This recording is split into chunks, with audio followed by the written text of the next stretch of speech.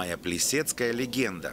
Выставка, посвященная великой балерине, открылась в Прохоровке. Ее привез сюда заместитель генерального директора Государственного театрального музея имени Бахрушина Александр Рубцов. Он был лично знаком с великой балериной. Она одновременно и очень простая, доступная и в то же время недосягаемая.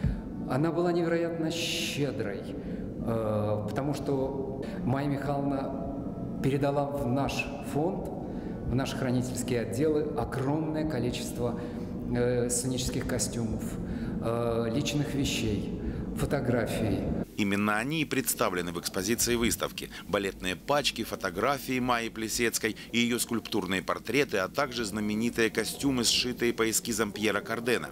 Жемчужиной коллекции называют вот эти пуанты, в которых Майя Плесецкая танцевала Анну Каренину.